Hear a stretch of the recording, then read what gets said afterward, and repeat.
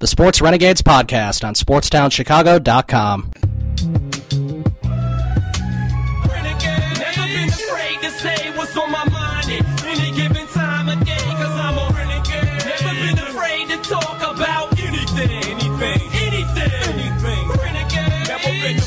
Say what's on my mind at any given time of day, cause I'm a renegade. Never been afraid to holler about anything.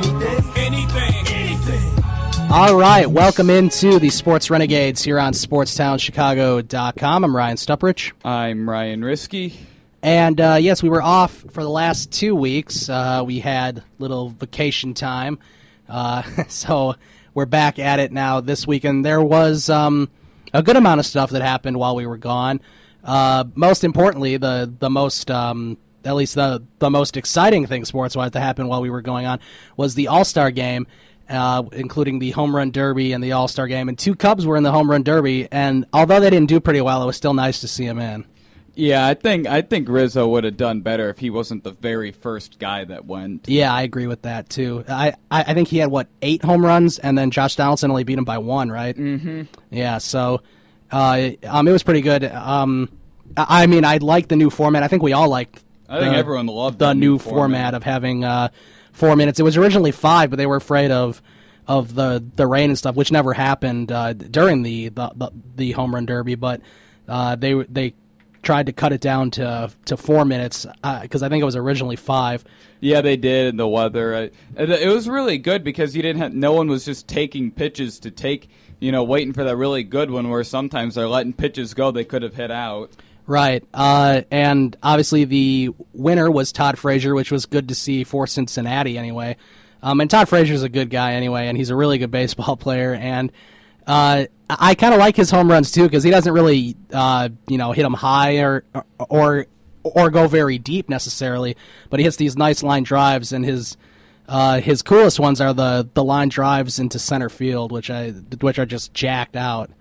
You know, that was kind of one of the issue. The one things that hurt Kris Bryant was he was losing like time on all of his home runs because he was Oh, hitting yeah. them so high. There was one that, that he hit extremely high. I don't even. I mean, it barely made it into the outfield. It was a moonshot. It, it, it just kept going up, and yeah, that probably wasted a good ten seconds. Yeah, I mean, I mean that that's when you you want to call your timeout. The moment you hit it, timeout, so you don't have to waste those ten seconds. I mean, it, it was a really, really good idea because remember last year was one of the worst home run derbies I'd ever seen. right. I think a lot of that was. I don't think there was that many good people who participated in I mean, it last year, but Stanton was in it, except the seven Stanton outs was in it, yeah. the the seven outs was just absolute nonsense. Like you'd you'd have you'd start out at three outs and then you'd be in desperation mode where you should never be like that. right.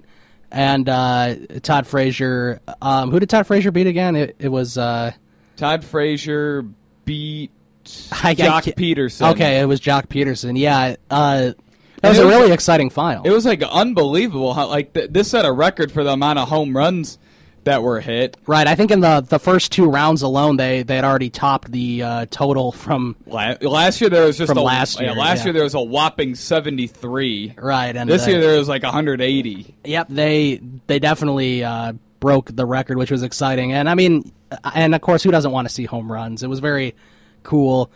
Um, and then of course the the two Cubs that were in it uh, with Rizzo and Bryant, and while they, they didn't do horrible, they they both kind of finished uh, towards the the bottom of the totals. Yeah, they didn't do bad, especially considering they were they were first time uh, players. Yeah, yeah, it's the first time uh, that they were both in a professional home run derby. I think uh, Bryant won the AAA home run. Yeah, he was in the year. AAA All Star stuff and everything. But yeah, uh, and then also Tuesday night there was the All Star game. Which Uh, got- I think this was the first time in a long time that the All Star game had much uh, worse ratings than the home run derby. yeah, yeah. I, I mean, it was exciting right off the bat with the the Trout leadoff home run, which is pretty cool because I mean, I, because I mean, who doesn't like Mike Trout? But uh, I mean, it was kind of disappointing because normally I root for the National League. I'm sure you do too, because the the Cubs are in the National League. But um, you know, of course, it doesn't really matter in the grand scheme of things who wins the All Star game. But it was uh, exciting to to see a lot of offense and Andrew McCutchen's home run. God, that was just massacred. It was a complete. Yeah, that was a nice home run. Same with Brian Dozier's off of Mark Melancon. Right, right. Yeah, I was Yeah, that was a nice home Yeah, run. I was disappointed with the way the National League ended up playing. I mean, I thought they played a much worse than they should have. I, I thought they're, they're I, I thought they would have scored more runs, and they they had some chances towards the uh, the ends of the innings. I think they got a run or two towards the end, but um, yeah, they had. Yeah, I thought Bryant's ball in the ninth inning was going to get out. yeah, yeah, he definitely hit it hard, uh, just uh, not deep enough. I, of course, he hit it to the deepest part of the ballpark, pretty much, which. Uh, It sometimes nice hit. happens. Yeah, yeah, it was a nice hit. It would have been gone in left or right, that's for sure. But uh, he hit it to right center and didn't quite get out. No, no. I mean, yeah. I mean, they said this is the first home run derby since like 2010 or 2008 that had three home runs in it. Yeah, uh, I I think you're right about that. I I don't remember seeing a whole lot of home runs. I I know that there's a lot of runs with these American League players, just keep rounding the bases. But uh, yeah, there hasn't been a lot of home runs in All Star games. It was nice to see um, a couple really good ones, I and mean, then a couple bombs with Dozier and McCutchen. people want to see some runs in the All Star game, where now Right. it's in the pitching has been taking over. Right, and, and of course, you know, it was surprising. the The guy who uh, who screwed it up pretty much for the National League was Kershaw when he was out there, which was sort of upsetting to see because he's been really good since June. Yeah, yeah, and he didn't pitch terrible. There was just some hits that found like softer hits that found a hole. Right, uh, and then um, Jhonny Peralta got the first RBI for the National League, which was upsetting because it was right after Rizzo. I think. Yeah, I thought. I, I think that's when Rizzo flew out or something. Yeah, he grounded out to first. I thought Oh, for right. sure Rizzo was going to drive in the run there. Yeah, yeah, or or at least get hit by a pitch, right? But uh, he didn't do that either. Um, but I, I mean, it was nice to see that neither of them struck out uh, because, of course, uh, Anthony Rizzo was over two. He had uh, a ground out and a fly out. Yeah, short fly out. Bryant had the, a very impressive walk against Dellin Betances. Mm-hmm.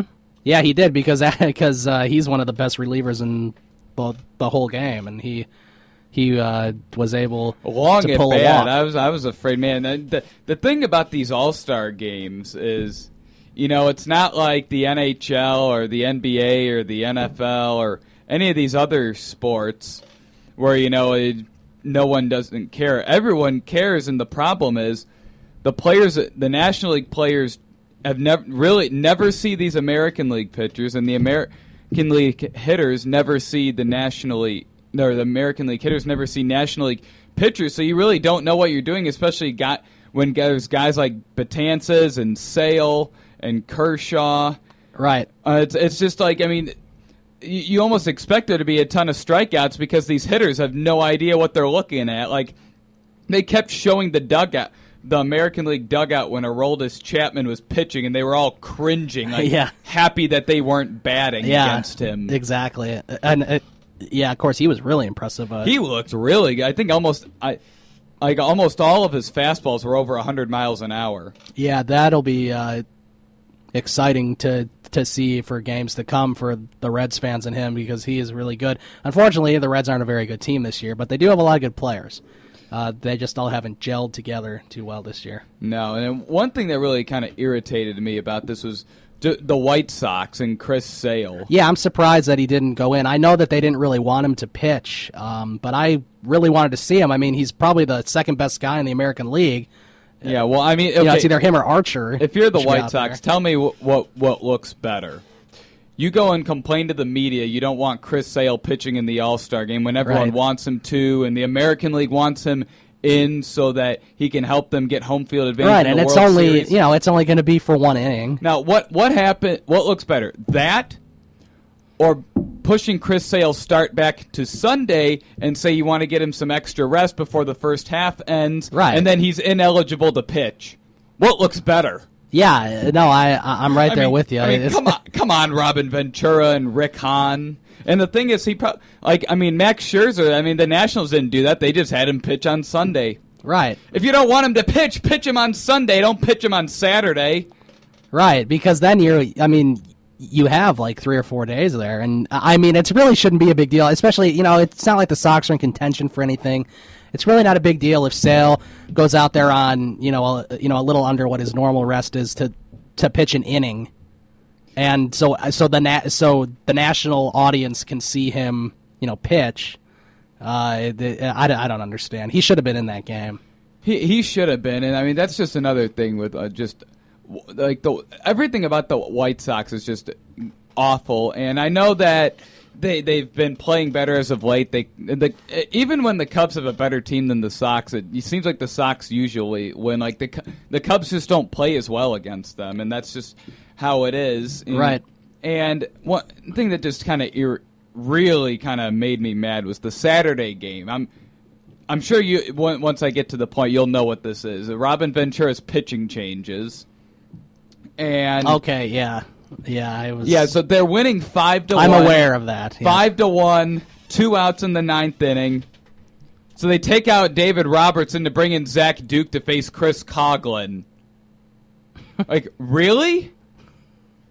You're taking out your closer, Right, and that was after Robertson. Did he get the yeah, the first he- two out? The first two guys, Yeah. were, he got out. There was no one on base, so he brings in Zach Duke to face Chris Coghlan. I I wonder if he thought that Robertson would give up another hit to Cog, or uh, um, or at least would give up um, a line drive hit because I, I um if you remember Friday, Coghlan Yeah. made the the last out on a really hard hit ball, but um, I mean, it shouldn't even matter. They're up by four runs. With Maybe that was his thinking though. I, I don't know. And I mean, if he's thinking of that, he's got some some other issues. Like, I mean, you're up by. It's not like it was a one-run game and there's someone on base. right.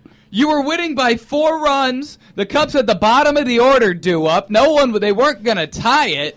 And then Robin Ventura goes through a pitching change. I was at the game. We left in the eighth inning. We were just disgusted with the way. Oh, I would've been played it. too. And we were listening on the radio, and we are just like, "What the hell is Robin Ventura doing?"